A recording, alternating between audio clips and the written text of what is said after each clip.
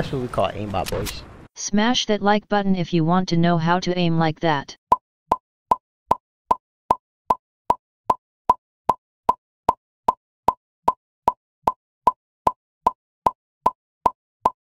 Brock I put on your settings and now I have been beaming kids and hitting no scopes. Love your vids. Yo, what is up boys and girls? Today I am bringing you the settings video that hundreds and thousands of you have asked for. So in this video, I'll explain all my binds and all my settings. So let's jump right into it and show you guys my settings first. Alright, so right at the top, we have controller auto run off, build immediately on, edit hold time at 0.1 seconds, vibration off. Uh, ever since I turned vibrations off, I feel like I've played a lot better and my building got a lot more consistent. So my build mode sensitivity is actually supposed to be 2.0, 2.4, but if you guys have seen Flea's video where he talked about why you might want to have a lower edit sensitivity, ever since then I've been trying to tweak them a little bit lower and lower, see if I can get used to it. So right now I'm on 1.9, 2.3, and I might keep going down, I'm still not sure. My horizontal and vertical speed have been 57 and 55 for a really long time now, and I feel like that's the perfect sweet spot for me. I also noticed a lot of people say that they try these settings and they beam just like I do. These settings are very, very average, right in the middle. So that's why I think they have a lot of potential for most people, like to be pretty decent with them. But if you do copy them, I still suggest watch my sensitivity tutorial and try to tweak them so they feel even better for you. Because even if they feel kind of good for you, there might be a slightly different sensitivity that'll be perfect for you. You just gotta find it. So if you're playing on linear, the boost should always be down at zero, otherwise you defeat the purpose of playing on linear. Turning boost ramp time also at zero, instant boost off. My ADS, uh, horizontal, vertical have also always been at 14% for a really long time now, and uh, I feel like it's really good sensitivity for beaming with SMGs. AR is pretty close range. My long range AR aim isn't very good anymore because I'm on linear, but that's just one of the sacrifices you have to make when you switch from legacy to linear. And in my opinion, it's way more important that your aim is good close range instead of having a really good long range aim, but your close range aim is not good. So that's why linear, I still think it's the best setting to be on. Boost again at 0, 0, 0. Dampening time at 0. So this is where we're talking about linear versus exponential. Legacy uses an exponential curve. So if you're switching to these settings, there's no reason to be using exponential. You might as well just stay on legacy. So you can keep doing the L2 spam. Linear, I'll show a picture on the screen right here of what a linear graph versus an exponential graph looks like. So let me try to explain the difference between linear and exponential. Say when the stick is here, that's equal to the number 0, and when the stick is pushed all the way, that's equal to the number 4.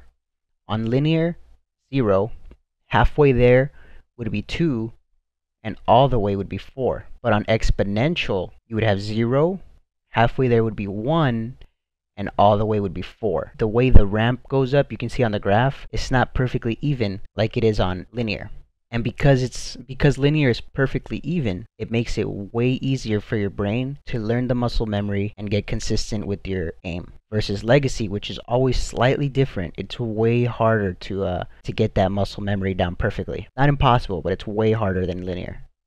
Aim assist strength should always be at 100. Maybe if you feel the tracking is too strong in close range SMG fights, you want to put it down a little bit, but honestly, I don't think it's a good idea. Use legacy look controls just off, obviously. My dead zone on the left stick is 12, and my dead zone on the right stick has been, like I said in my last video, I usually fluctuate between 0.10 and 0.9, or 10% and 9%. Lately, I've actually been on 9%, but I just switched it back to 10%. I feel like on 10% my aim is better, but on 9% my edits and builds are better. So if I'm doing free building and stuff like that, I'll put it at 9. And when I get back to normal games, I'll put it back to 10 foot controller is off. Foot controller is not, you don't need this anymore if you play on linear. But back on legacy, the foot controller used to help. And also for the people that want to see my legacy settings, right here. This was way back when I used to play legacy. Um, you can see them here. My dead zone was 12 on legacy, but on linear I have it at 10. Okay, so there's my there's my controller aim settings. Now I'm going to show you guys my binds and my controller setup.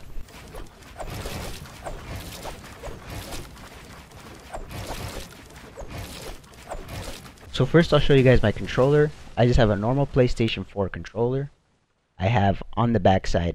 This attachment is called a FPS Strike Pack Dominator by Collective Minds. The link to buy it is in the description if you want to buy one. Uh, with my affiliate link, you get 10% off. So what this thing does is, it gives you these two little paddles right here. Most of you guys already know, but I'm sure there's a lot of people that don't know yet.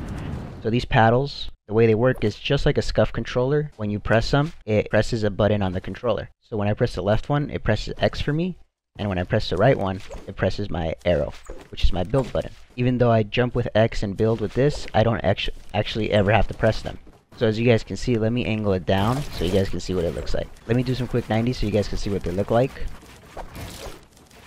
So I already have a full video on these uh, paddles. So I'm not going to explain them anymore in this video, but I'll put that video at the end of this video in the end screen if you guys want to watch it after.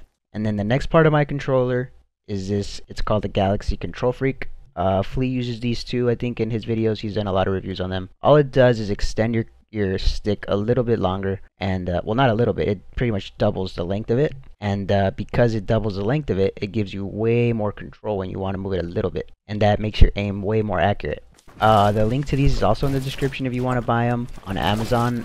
Uh, I'm not sure where else they sell them but I got mine on Amazon. When you buy them it comes with two. I use the bigger one. It comes with the little one for this stick but I don't actually use it because it messes up my edits. Alright, so with that, let me show you guys now my binds on my controller. Alright, so you guys can see on the left here, we have old school, quick builder. These are all the old controls. I play on custom controls, which is almost the same as Builder Pro with a couple things switched around. So the main difference is that my edit button is L3. When I press L, it edits. And my switch mode is the arrow, which is actually my paddle. And then I open my map with circle, because I don't actually use circle for anything else. So on build controls, um, the only difference on build controls is my pick trap button is the down arrow and then the place is R3 is how you place traps. So if you want to rebind it, use place and pick trap. Then rotate button is square, but I honestly never use that. It is also repair though, I do repair a lot when my pieces get damaged. And then change material and trap is left arrow. So on edit controls, I have R1 to reset my edits.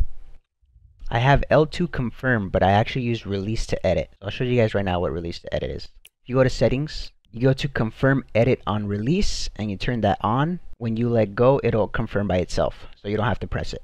Dead zone is the same as over there. Um, if you do have a very low dead zone and your controller moves by itself that just means your controller is old and uh, it's either you're gonna have to buy a new one or you put up your dead zone but when you have a brand new controller, even if you have a really low dead zone, they don't move by themselves. And then the final settings are my game settings. I have sprint by default on, so that means let me show you guys. I don't actually press anything to sprint. I just push forward and it starts running by itself. And if you want to walk instead of run, you just don't push it all the way. Just push it a little bit. It'll walk and then it'll run by itself. So that's very useful so that you can use L3 instead of having to use it for sprint. You can use it to edit. And then there's also a setting, a lot of people don't know this, called auto open doors. If you have this on and you run right into a door, it'll open by itself. So I've actually gotten comments from people saying the handicam is fake because he didn't open that door with square but it's because I have auto open doors.